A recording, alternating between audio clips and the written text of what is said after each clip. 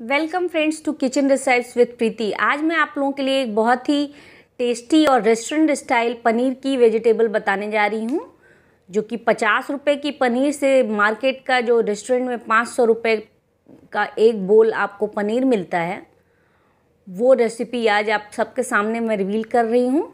इसके लिए हमने पनीर के छोटे छोटे क्यूब्स लिए और इस तरह से सैलो फ्राई कर लिया। ज़्यादा हमें लाल नहीं करना है। इस पनीर की क्वांटिटी 200 ग्राम है। देखिए, इस तरह से हम हल्का पिंक होने तक फ्राई करके निकाल लेंगे। अब एक बड़े साइज़ का प्याज लेंगे और एक टमाटर और एक शिमला मिर्च। टमाटर टाइट होने चाहिए, कड़े थोड़े, और उनको भी हम छोटे छोटे क्यूब्स में कट कर लेंगे और अंदर का बीज निकाल देंगे। इस तरह से देखिए, बस केवल हमारे पास ऊपर का लेयर है और बीच के बीच का पार्ट निकाल दिया है। और टमाटर, प्याज, शिमला मिर्च तीनों को एक साइज़ में कट कर लेंगे और प्याज के छिलकों को हम अलग अलग कर लेंगे। अब मसाले के लिए हमने एक बड़ा साइज़ का प्याज लिया। चार छोटी इलायची, चार लौंग, एक छोटा चम्मच जीरा, आधा छोटा चम्मच काली मिर्च, चार से पाँच हरी मिर्च अपने टेस्ट के अकॉर्डिंग और दस बारह कलियाँ लहसुन की। इसको हम पीस लेंगे फाइन पेस्ट बनाएँगे इन सब का। और एक बड़े साइज़ के टमाटर की भी प्यूरी हम अलग से कर लेंगे। अब तड़के के लिए हमने आधा छोटा चम्मच धनिया लिया है, एक छोटी स्टिक दालचीनी की और एक तेज पत्ता ये टमाटर हम प्योरी बनाएँगे ग्रेवी में डालने के लिए। अब धनिया हम जो है क्रश कर लेंगे। इसको खलबट्टे में भी क्रश कर सकते हैं। और इस तरह से बेलन से इसको हल्का सा प्रेस करेंगे तो ये दो टुकड़ों में टूट जाएगा। अब दो से तीन चम्मच हमने सरसों का तेल लिया, कढ़ाई में हीट कर लिया। इसके बाद धनिया और तेज पत्ता हम डालेंगे। ये दो मिनट के लिए भूनेंगे। इसके बाद जो मसाले थे, हम उनको ऐड करेंगे। अब इन्हें धीमी आँच पर हम भूनेंगे। धनिया हमें ये एक्स्ट्रा पंच देता है। ये फ्लेवर इससे बहुत अच्छा आता है। जब धनिया भुन जाता है और मुँह में खाते समय आता है हल्का हल्का क्रंच तो ये डिफरेंट ही फ्लेवर देता है। देखिए ऑयल हमारे थोड़े थोड़े ऊज आउट हो रहे हैं। धीमी आँच पर इस तरह से हम भून लेंगे, जब तक कि तेल पूरी तरह से सेपरेट ना होने लगे। जब सेपरेट हो जाए तेल, तब हम टमाटर की प्यूरी ऐड करेंगे। इसे भी धीमी आँच पर हम भून लेंगे, जब तक कि तेल ना सेपरेट हो। फ्रेंड्स तब तक मेरे channel kitchen recipes with Preeti को ज़रूर लाइक और सब्सक्राइब करें। शेयर करना बिल्कुल भी ना भूलें और बेल आइकन हिट करें ताकि मेरी हर रेसिपीज़ आप तक पहुँचे और आप नई नई रेसिपीज़ को देख सकें। देखिए, हमारा तेल सेपरेट हो गया है इस स्टेज पर हम आधा छोटा चम्मच हल्दी पाउडर और लाल मिर्च पाउडर अपने टेस्ट के अकॉर्डिंग ऐड कर सकते हैं। इसको स्किप भी कर सकते हैं, लाल मिर्च को। आप चाहें तो एक्स्ट्रा भी ऐड करिए या कम कर दीजिए। हमारे मसाले पूरी तरह भुन गए हैं। इसी स्टेज पर मैंने इसमें एक चम्मच नमक डाल दिया। हम इसमें क्रीम ऐड करेंगे।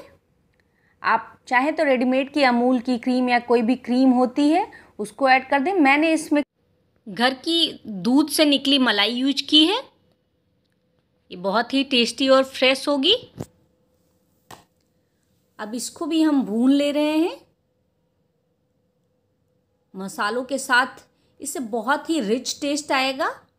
ग्रेवी बिल्कुल थिक क्रीमी मार्केट में जो रेस्टोरेंट में आप फाइव हंड्रेड में बोल में एक छोटे से बोल में मिलता है, जिसमें दो से तीन लोगों का भी पनीर प्रॉपर नहीं हो पाता खाने के लिए, उससे ज़्यादा क्वांटिटी में हम पनीर और उससे काफ़ी कम पैसे में हम घर पर रेडी करेंगे।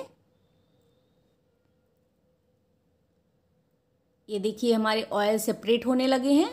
इस स्टेज पर हम शिमला मिर्च पहले डालेंगे। शिमला मिर्च को हम एक मिनट के लिए भूनेंगे मिक्स करेंगे मसालों में, फिर हम टमाटर के चंक्स जो हमने बड़े साइज़ में काट लिए हैं, उसे ऐड करेंगे क्योंकि टमाटर थोड़े जल्दी सॉफ्ट होते हैं, शिमला मिर्च उससे ज़्यादा टाइम लेता है और अनियन को लास्ट में हम ऐड करेंगे क्योंकि अनियन सबसे जल्दी गलेगा। अब जो प्याज के छिलके हमने अलग अलग किए हुए हैं, उसके ऐड करने की बारी। इन सबको बारी बारी से डाल करके एक एक दो दो मिनट के लिए भूनेंगे और फिर लास्ट में हम इसमें अपना मेन इंग्रेडिएंट पनीर ऐड करेंगे। देखिए, सबसे पहले शिमला मिर्च डालने से और लास्ट में प्याज डालने से इनमें बैलेंस रहेगा। ये नहीं कि कोई ज़्यादा गल गया और कोई कम गला। इन्हें भून करके जब तक कि तेल थोड़े से सेपरेट और आपस में मिक्स ना हो जाए मसाले,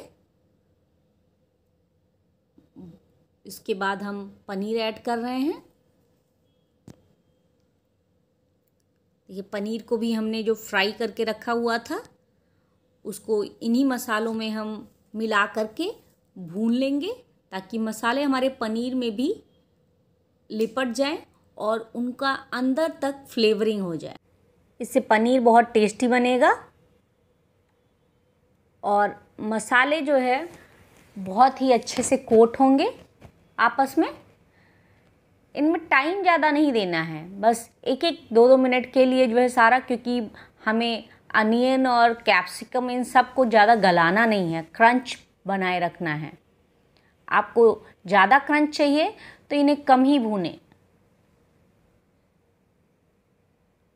देखिए, हमारे यहाँ बच्चों को खाना है तो थोड़ा सा मैं ज़्यादा गला रही हूँ, क्योंकि एकदम कच्चे अनियन और कैप्सिकम हमारे बच्चे नहीं खाते हैं